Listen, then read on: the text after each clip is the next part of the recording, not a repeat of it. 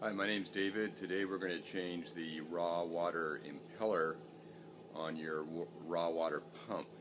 I change mine about every 18 to 24 months. Uh, some of that depends upon how much you use your boat, uh, but you want to change it before any of those impeller blades break and get loose in your cooling system. So I'll start by showing you the parts we need. Okay, this is the uh, impeller blade for my raw water pump. You'll have to make sure that uh, you've gotten the correct one for your for your pump. You'll also need a screwdriver, flat-bladed screwdriver, and a pair of needle nose pliers, and some rags. And it doesn't hurt to have some uh, plastic containers to catch water because we'll be emptying the um, the raw water cooling part of your engine. We're going to be doing this on a uh, Ford Lehman, but it doesn't really matter the make of the engine. Uh, we've got a Jabsco raw water pump, and uh, so any any engine, any marine engine that has a, a Jabsco pump will be similar to, to what we've got here. Okay, my raw water pump is located on the starboard side of my engine up forward. Uh, you can see it here, and you can also see access to it is blocked by this uh, intake hose here, uh, this Trident Flex. So I'm going to remove that. Before we do that, before we disconnect that, close any and all seacocks to your raw water system. So I'm going to do that and then disconnect this hose. So you can just see the yellow handle on my raw water intake petcock. I just closed it. And then I've got a um, small intake hose back on the drive shaft here by the stuffing box, so I closed it also. Before I disconnect that raw water hose, I'm going to drain the raw water out of this heat exchanger so that there's less water I have to contend with when I take the cover off of the uh, raw water pump. So on this particular heat exchanger, it's the far left drain plug at the bottom that you'll disconnect. Different for every heat exchanger, so you'll just have to check your manual and see where the raw water drain plug is on your heat exchanger. Okay, I'm just draining the water into this small pail and then dumping it into a bigger bucket. There's not a lot, but there's, I don't know, a quart or more, one or two quarts I would guess and then once uh, it seems like it's empty then uh, reinsert the plug put some Teflon tape on it or some sort of sealant um, so that it seals well okay we've drained the heat exchanger and I've reinserted that plug put some Teflon tape on it and reinserted it on mine it's a 9 16 wrench I don't know uh, what it will be on yours but on this one it's a 9 16 wrench Okay, now we're going back up to the raw water pump. Shove some rags underneath it because you'll undoubtedly spill a little bit of water as we disconnect this hose. It's not a bad idea to have uh, some plugs available so that we can plug this the end of this hose back up. Even though we've got the petcock closed, uh, it still leaks a little bit of water sometimes. So I would shove a plug in there and uh, then you don't have to worry about it. So just get a flat bladed screwdriver and loosen up this clamp here and you'll just pull that hose right off. It'll come off real easily.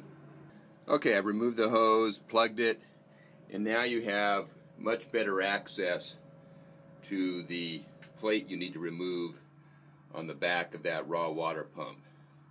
Uh, you can just barely see it there.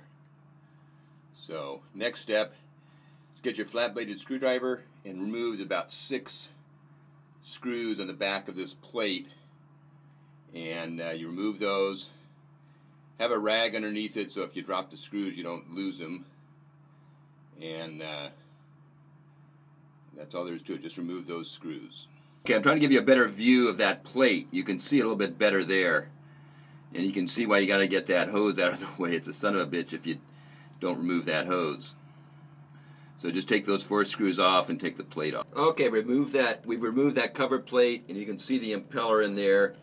Good idea to have a can or canister underneath it because there'll be some water dripping and have some rags. So now we're going to work on pulling that impeller blade out. take a pair of needle nose pliers and grab one of the vanes and just pull on it. And you'll have to work around it won't come off easily. So just uh, pull on various vanes pulling straight out. Okay it is not easy to get out oftentimes. You just got to keep circling around it pulling on those vanes and it will eventually come out you can see it's it's starting to come out but uh, it can sometimes be a bit difficult Okay, that did not come out very easily. It was a real son of a bitch. But it'll it always eventually comes out. There's also a uh, paper gasket you'll notice, just remove that. And now we'll uh, go about installing the new one. Okay, here's the new blade on the bottom, old blade in the top. And notice on the top one, the old one, the direction of the vanes. That's exactly as it was when it was in the housing. So when you install the new one, try to turn it or position it so that those vanes are flexed the same way that those are. That's not real critical, but if you can do that, it's a good idea. Before you go to insert that new impeller blade, not a bad idea to take some silicone grease and smear it on the lines of the impeller, the metal part that goes on the the spines of the pump, and also on the blades. It'll make it go in a lot more easily. Once you've pushed the impeller blade back into the pump, you'll find in the kit that came with the impeller a black rubber plug of sorts. It just simply nests right in the center of the impeller, so just install that. Okay, in the impeller kit you'll find the paper gasket and some, what I'm sure is silicon grease that they supply. So smear that on both sides of this gasket and uh, then position it on the inside of the cover with one of the screws and then start putting that cover on. Make sure all your surfaces are clean. They don't have to be dry, but they have to be clean, free of any grit or anything. Okay, so I found that that Jabsco supplied grease was too watery, so I'm just using silicone grease. It's much thicker, it's easier to work with. So put it on both sides of that paper gasket, position the gasket in position on the cover, and then get one of the screws to uh, position this into place.